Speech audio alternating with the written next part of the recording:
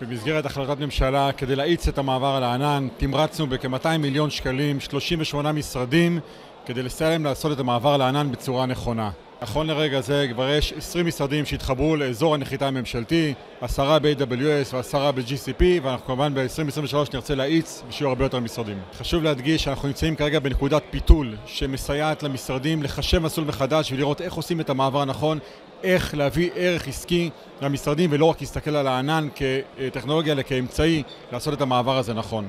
במהלך 2023 אנחנו נמשיך להוביל את המשרדים לענן, אנחנו נמשיך לפתח ולהוסיף עוד יכולות ושירותים רוחביים עבור המשרדים כדי לעזור להם לעשות את המעבר הזה בצורה הכי נכונה תוך חיבור לאזור הנחיתה הממשלתי. אנחנו בסופו של דבר מסתכלים על האזרח, רוצים להביא ערך לאזרח ולעסקים במדינת ישראל. אנחנו מבינים שעם הגברת היכולות בענן נביא הרבה יותר ערך, וזו המטרה העיקרית שלנו ב-2023, לראות איך דוחפים את המשרדים ולשפר את התהליכים העסקיים שלהם ולעשות את השירותים הרבה הרבה יותר טובים ובטוחים לאזרחים.